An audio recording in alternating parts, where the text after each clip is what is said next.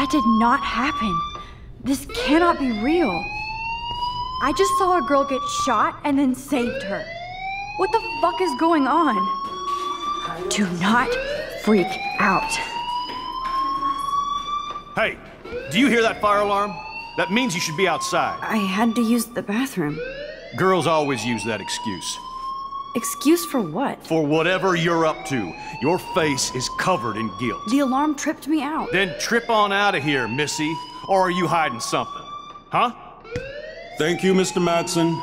The situation is under control. There's no emergency here. Leave Miss Caulfield alone and please turn off that alarm since that's your job.